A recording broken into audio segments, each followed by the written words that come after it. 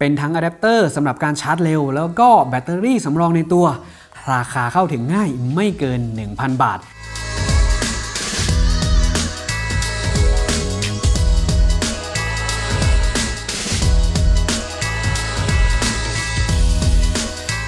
อะแดปเตอร์ที่จะรีวิวในรอบนี้มาจากแบรนด์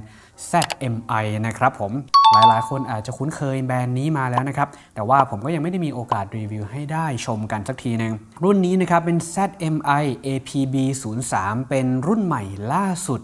ซึ่งจะบอกให้ว่าอะแดปเตอร์ตัวนี้มากกว่าการเป็นอะแดปเตอร์ ทำหน้าที่ได้เป็นทั้งอะแดปเตอร์สำหรับการชาร์จให้กับอุปกรณ์ต่างๆ แล้วก็มีแบตเตอรี่สำรองในตัวด้วยนะครับ เดี๋ยวผมจะมาลงรายละเอียด แล้วก็จะมาเล่าประสบการณ์ให้ฟัง หลังจากที่ได้ทดสอบใช้งานอะแดปเตอร์ตัวนี้แล้วนะครับ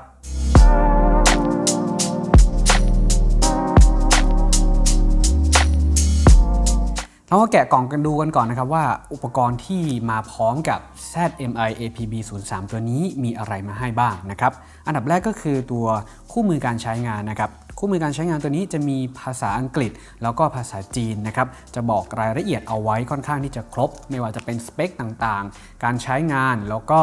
ข้อมูลที่ควรทราบนะครับ ต่อมาเป็นตัวอะแดปเตอร์นะครับที่บริเวณด้านข้างนะครับจะมีการปริ้นตัวเลขเอาไว้ ตัวเลขชุดหนึ่งนะครับบอกจำนวนของแบตเตอรี่ ความจุจะอยู่ที่ 6,700มิลลิแอมแล้วก็พลิกอีกด้านหนึ่งนะครับจะเห็นตัวเลข 50 วัตต์นั่นหมายถึงกำลังไฟรวมที่อะแดปเตอร์ตัวนี้สามารถทำให้ได้นะครับ อุปกรณ์ตัวนี้ครับจะมีปลั๊กไฟมาในตัวด้วยนะครับปลั๊กไฟตัวนี้จะพับเก็บได้สะดวกสำหรับการพกพานะครับขาตัวอะแดปเตอร์จะได้ไม่ยื่นออกมา ซึ่งจะมีความคล้ายคลึงกับทางฝั่งอะแดปเตอร์ของ macbook นะครับไม่ว่าจะเป็น macbook air หรือว่า macbook pro ZMI APB 0 3 วัสดุที่ใช้จะเป็น PC นะครับ โดยจะแบ่งเป็น 2 ส่วน โซนบนจะเป็น PC แบบผิวมันนะครับ ค่อนข้างที่จะวาวเลยทีเดียวนะครับ เป็นสีดำวาวนะครับ มีปุ่ม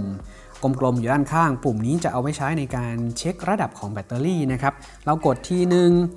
ไฟ LED ที่ด้านหน้านะครับที่อยู่ใต้พอร์ต USB จะปรากฏขึ้นทั้ง 4 หลอดพร้อมกัน และหลังจากนั้นจะค่อยๆ ดับลงนะครับหลอดไฟ LED 1 ดวง หมายถึงระดับของแบตเตอรี่ที่เหลืออยู่นะครับ1ดวงจะเหลืออยู่ 25%นะครับถ้า 2 ดวงจะอยู่ประมาณ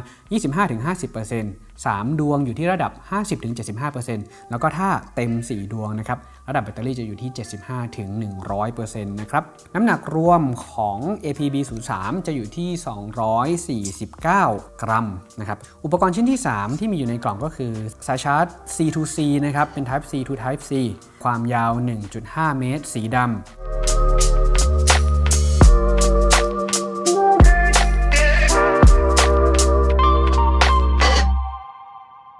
ต่อมามาดูในฝั่งของการใช้งานที่เป็นอะแดปเตอร์กันก่อนนะครับ ZMI APB 0 3จะมีพอร์ตมาให้อยู่ 2 พอร์ต ด้านบนสุดนะครับเป็นพอร์ต USB A จะมาพร้อมเทคโนโลยี Quick Charge 4 Plus ซึ่งกำลังไฟสูงสุด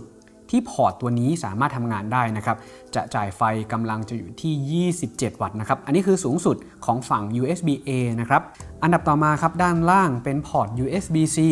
มาพร้อมเทคโนโลยี Power Delivery นะครับกำลังไฟสูงสุดของพอร์ตนี้ ถ้าใช้งานพอร์ตเดียวๆนะครับ จะอยู่ที่ 45 วัตต์ ดังนั้นทั้ง 2 พอร์ตถ้าทำงานพร้อมๆกันกำลังไฟสูงสุดที่อะแดปเตอร์ตัวนี้จะสามารถทำให้ได้ก็คือ 50 วัตต์นะครับแต่ถ้าสมมติว่าเราเปลี่ยนใช้เป็นโหมดของแบตสำรองกำลังไฟทั้ง 2 พอร์ตนั้น จะถูกลดลงมาครับ สูงสุดถ้าใช้งานทีละพอร์ต กำลังไฟจะวิ่งสูงสุดไม่เกิน 18 วัตต์ทั้ง 2 พอร์ต ส่วนถ้าใช้งานทั้ง 2 พอร์ตพร้อมกันกำลังไฟจะเฉลี่ยรวมกันอยู่ที่ 12 วัตต์นะครับ ก็คือจะดรอปกำลังไฟลงมาค่อนข้างเยอะ ต่อมาเรามาดูในเรื่องของการทดสอบกันบ้างครับ ผมลองชาร์จ APB 0 3ด้วย USB-C อย่างเดียวนะครับ ทดสอบกับ MacBook 2 เครื่อง คือ MacBook Air 2020 แล้วก็ MacBook Pro 16 นิ้ว ปี 2019 ซึ่งแน่นอนว่า MacBook Pro 16 นิ้วนั้นกำลังไฟกินมากกว่า 45 อยู่แล้ว ราะว่าทุกรุ่นนั้นกินกำลังไฟ 96 วัตต์ใช่ไหมครับ ผมใช้อะแดปเตอร์ตัวนี้ในการทดสอบ พบว่ากำลังไฟที่ออกมาจาก USB-C วิ่งได้สูงสุดนะครับ ที่เครื่องมือสามารถวัดได้อยู่ที่ 45 วัตต์ทำให้เราเห็นว่าอะแดปเตอร์ APB 0 3 ตัวนี้นะครับ กำลังไฟจากช่อง USB-C มาเต็มนะครับ จากนั้นครับลองทดสอบร่วมกับ MacBook Air นะครับ ก็พบว่ากำลังไฟนั้นจะวิ่งอยู่ราวๆประมาณ 41 วัตต์ 42 วัตต์ราวๆนี้นะครับ นี่ก็ถือว่าชาร์จเกินกำลังของอะแดปเตอร์ที่ทาง Apple แถมมาให้แล้วนะครับ สรุปคือนำมาใช้กับ MacBook ได้แน่นอนครับ ที่ผมแนะนำถ้านำไปใช้นะครับก็ควรจะเป็นฝั่งของ macbook air นะครับเพราะว่า macbook pro นั้นจะกินกำลังไฟที่มากกว่า macbook pro 13 นั้นจะกินกำลังไฟ 60 วัตต์ แล้วก็ macbook pro 16 นิ้วนั้นกินกำลังไฟ 96 วัตต์ ตัวนี้จะไม่เพียงพอนะครับถ้าเรานำไปใช้งาน ต่อมามาลองทดสอบพอร์ต USB A นะครับตามสเปคบอกว่าพอร์ตนี้มีกำลังไฟสูงสุด 27 วัตต์ใช่ไหมครับผมลองทดสอบกับอุปกรณ์ทางฝั่งของ Android ต้องเป็นสมาร์ทโฟนที่รองรับ Quick Charge 4.0 ขึ้นไปนะครับ กำลังไฟถึงจะได้ขนาดนั้น ถ้า Quick Charge 3.0 ไม่ถึงหลักๆ จะอยู่ราวๆสักประมาณ 18 วัตต์ 15 วัตต์ราวๆนี้นะฮะ ผมลองทดสอบกับสมาร์ทโฟนของ Xiaomi รุ่นที่มาพร้อม Quick Charge 4.0 นะครับ พบว่าอะแดปเตอร์ตัวนี้กำลังไฟวิ่งสูงสุดไปแตะที่ 26 วัตต์ ผมวัดได้ 26 วัตต์นะครับ ถือว่าใกล้เคียงกับสเปคค่ามาตรฐานที่อะแดปเตอร์ตัวนี้ดีไซน์ออกมานะครับ สรุปคือถ้าชาร์จเดี่ยวๆ ทั้ง USB A แล้วก็ USB C นะครับ กำลังไฟที่ออกมานั้นถึงตามสเปคที่บอกไว้อย่างแน่นอนนะครับ ต่อมาครับถ้าเราลองทดสอบชาร์จอุปกรณ์ 2 อุปกรณ์พร้อมกันทั้ง USB A และ USB C อุปกรณ์ชิ้นที่ 1 ผมเชื่อมต่อกับ MacBook Air ปี 2020 นะครับ ผ่าน USB C แล้วก็อีกอุปกรณ์หนึ่งผมลองทดสอบกับ iPad รุ่นที่ 7 นะครับ จะใช้สาย USB A ไป Lightning ธรรมดานะครับ ถ้าสมมุติว่าเราชาร์จพร้อมกัน 2 อุปกรณ์ อุปกรณ์ตัวนี้จะพยายามปล่อย ลังงานออกมาในช่อง USB-C ให้ได้มากที่สุดนะครับ คือจะคงความเร็วอยู่ที่ 45 วัตต์ ส่วน พอร์ต USB-A นั้นจะลดความเร็วลงมานะครับ จะให้ความสำคัญกับทางพอร์ต Power Delivery มากกว่า แต่โดยรวมเมื่อชาร์จทั้ง 2 อุปกรณ์พร้อมกันนะครับกำลังไฟสูงสุดที่วัดได้จากอะแดปเตอร์ตัวนี้นะครับ จากเครื่องวัดที่ผมแสดงให้เห็นอยู่ตอนนี้คืออยู่ที่ 51 วัตต์นะครับ สเปคบอกไว้ที่ 50 วัตต์ แต่ว่าเท่าที่วัดได้จริง ๆ ก็คืออยู่ที่ 51 วัตต์ ตัวเลขมันก็จะอยู่ราวๆนี้ครับ ก็สื่อให้เราเห็นว่าสเปคที่บอกมาอย่างนี้กับประสิทธิภาพที่เราวัดได้นั้น ถือว่า อะแดปเตอร์ตัวนี้ได้มาตรฐานตามที่บอกเอาไว้นะครับ ต่อมาครับมาดูในประสิทธิภาพถ้าอะแดปเตอร์ตัวนี้ใช้งานในโหมดของแบตเตอรี่สำรองนะครับทั้ง 2 พอร์ตนะครับกำลังไฟสูงสุดจะอยู่ที่ 18 วัตต์เท่านั้นครับไม่ว่าจะเป็น USB A หรือ USB C ผมลองทดสอบอุปกรณ์นี้ครับกับสมาร์ทโฟนของ Samsung แล้วก็หัวเว่ยผมลองทดสอบกับ Samsung Galaxy S20 Plus นะครับผ่าน USB C แล้วก็อีกเครื่องหนึงเป็นหัวเว่ย P10 นะครับ จะชาร์จผ่าน USB A ทั้ง 2 เครื่องเนี่ยถ้าชาร์จทีละเครื่องจะขึ้นสถานะกำลังชาร์จด่วน ส่วนถ้าสมมุติว่าเชื่อมต่อทั้ง 2 เครื่องพร้อมกัน